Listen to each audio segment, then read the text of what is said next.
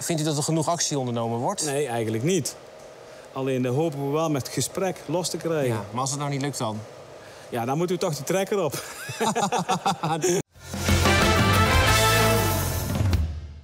Mari, waar staan we? We staan hier in zomer in een eh, hele grote kas waar aardbeienplantjes vermeerderd worden. Ja, die aardbeienplantjes, dat worden dan pas later aardbeien, hè? Daar Ja. eh, komen volgend jaar pas de aardbeien aan. Ja. Ja, ja, ja. Ehm, er is een probleem met een vol stroomnet eh, in Limburg en in Brabant. Hebben jullie er ook last van? Daar hebben wij last van. Wij, hiervoor is een, staat een loods van een half hectare. Die willen wij graag volleggen met zonnepanelen om te verduurzamen. Ja, helaas, dat gaat niet lukken, want we krijgen geen aansluiting. En op andere locaties hebben we nog eh, WKK sta- staan, dus een warmtekrachtkoppeling. Daar kunnen we stroom opwekken. Ja. Ook daar krijgen we geen aansluiting voor om, die te kunnen, om stroom te kunnen leveren. Dus u heeft een aanvraag gedaan, die heeft een aanvraag gedaan... en dan was gewoon nee, afgewezen. afgewezen, Ja, dat kan niet. Het net zit vol. Het net zit vol. Vind je- Helaas pindakaas. Wat vind je ervan? Eh, mag ik het mooi zeggen? Ja, graag. Mooie kloten. ja, en waarom is het mooi kloten? Nou, wij willen verduurzamen en we, we kunnen niet en we mogen niet. We willen onze eigen stroom opwekken. Dus verduurzamen en vervolgens, als we over hebben, kunnen we niet terugleveren. Dus het, Eigenlijk is hier heel veel potentie om alles heel duurzaam te doen. ja, Maar de faciliteiten zijn er niet. nee, het net is niet toereikelijk om, om dat te kunnen doen. Ja, en nu dan? Want kan het dan misschien volgend jaar? Eh, ik heb mijn twijfels, maar ik, ik hoop dat er actie gemaakt wordt...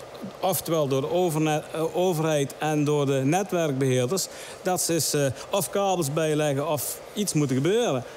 Ik ga ook naar de minister toe natuurlijk. Hè. En dan ga ik ook heen voor u. Ja. Hè. Wat moet ik hem vragen? Dan, en dan vraagt hem eens gewoon... jongens, zorg eens dat het netwerk op orde is... dat die tuinders die stroom kunnen leveren en dat ze kunnen verduurzamen. Dan is het populair om in deze tijd natuurlijk met een trekker naar, eh, naar Den Haag te gaan of naar een plek te gaan. Eh, ik weet niet of u. Heeft u een trekker?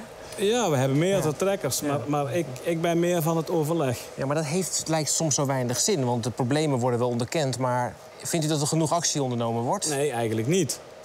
Alleen dat hopen we wel met gesprek los te krijgen. Ja, maar als het nou niet lukt dan? Ja, dan moet u toch die trekker op. Marcel, goedemiddag. Goedemiddag. Waar ben ik? Wij eh, verkopen gevelreclames en dat doen wij eh, al anderhalf, drie, ja, twee jaar alweer. Jullie worden zo groot dat je dus ook hier uitgroeit. Ja, we groeien sowieso eruit vanwege eh, personeel. Maar we groeien zo hard dat we onze materialen niet meer kwijt kunnen. En we kunnen nergens heen op dit moment. Dus die nieuwe fabriek of dat nieuwe kantoor dat je nodig hebt om te groeien... Dat- komt even op losse schroeven te staan, omdat je zekerheid wil als je gaat bouwen. We hebben 3500 vierkante meter nodig. Ja, die willen we ergens neerzetten waar we ook kunnen blijven zitten voor de komende tijd. Overweeg je ook om te vertrekken vanuit Limburg... omdat je dus niet op het stroomnet kan worden aangesloten? Ehm, ja, als het verder begint te knellen, zullen we iets moeten. En dan longt Duitsland.